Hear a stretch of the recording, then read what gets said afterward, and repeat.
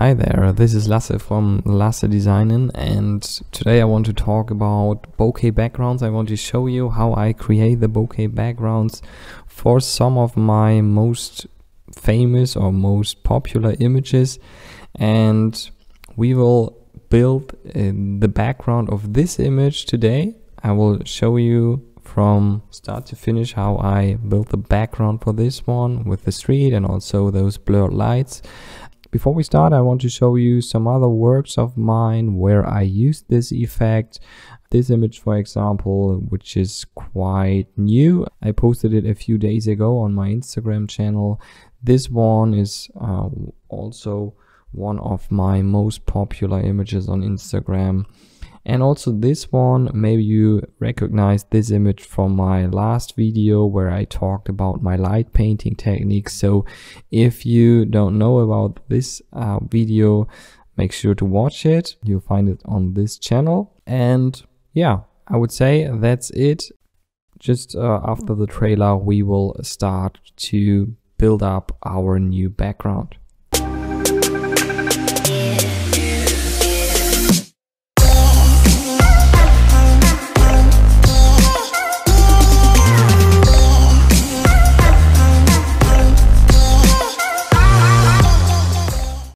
So, okay, let's go. I just prepared a little document with three different layers. We have this blurred background with those blurred lights. This is actually Dubai. I photographed it a few years ago. Then we have this kind of a street or rather a parking garage or something like that, um, which I photographed also a few years ago. And we have just a black layer. This is everything we need for building such a background. And by the way, if you need more of those backgrounds, you can of course photograph them yourself. Just go to the next river if you live in a city and then stand on the shore and just photograph the lights on the other side just put your camera into manual focus mode and defocus the image just experiment a bit because the more you defocus the image it will always look different because those lights get bigger and smaller just uh, try that out a bit and if you do not live in a big city, you also can go out at night and search for some places where you just have many different lights and try to do it in the same way. And if you live in a forest, maybe, or in an area where there is no light, I also got a solution for you because I have a little package on my Gumroad shop. I will show that to you very quickly. 30 city bokeh backgrounds is the name of that package. I will just link it in the video description. Okay, now let's finally start with the editing part and I will just make this top layer with the blur lights invisible for a moment and I will add a layer mask to that uh, street layer. I will just name that street very quickly. Now I have my layer mask activated and I will choose the gradient tool. Make sure to have a gradient that goes from black to white.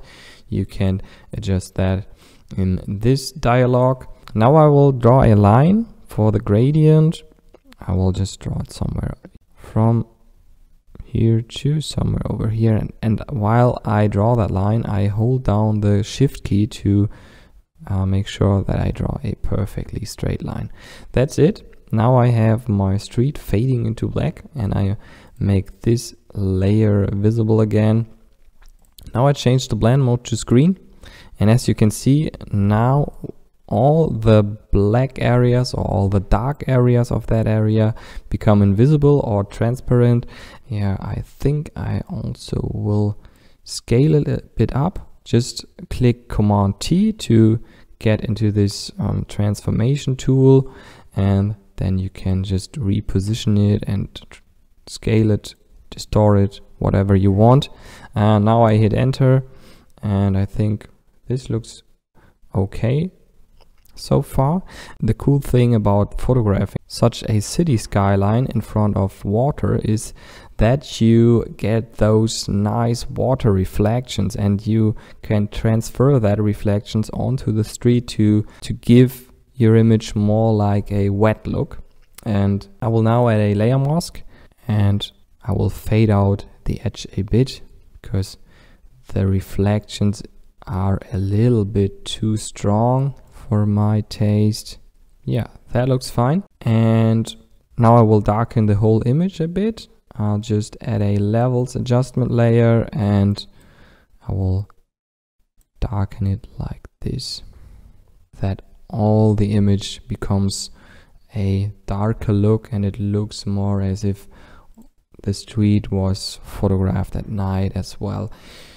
Now we have another problem because the street is too sharp. So the, the street is uh, totally in focus from from front to back and the lights are definitely very blurred so we need to blur the street a bit. I will first convert the street into a smart object by just hitting uh, the right mouse button when I'm somewhere in this area and then click convert to smart object.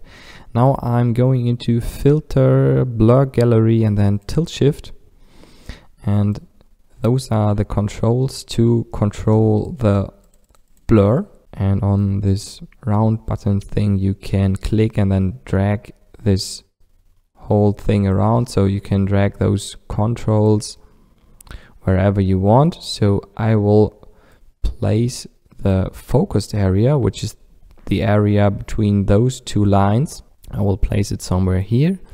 And this is of course the area where you can add your person or vehicle or whatever you want later. The area between this line and this dashed line, this is the area where the image will slowly become more defocused. So when you reach the dashed line, you will reach the highest level of blur. So the level that you just set up over here. I will think, I think I will blur this one a little bit more and you can see that it gets more blurry when I drag the control. And I think this looks okay, maybe a little bit less blurry, looks better. Now I hit OK and that's almost it. We have created a very nice background which is pretty similar to the one that I used for this image. Um, we can now add a little bit more light and color. Um, if you have seen my first video, you already know the techniques that I'm using now. If not, I recommend you to watch it. And you'll find it on this channel, of course. I use the paint bucket tool, fill this layer with black and then change the blend mode to color dodge.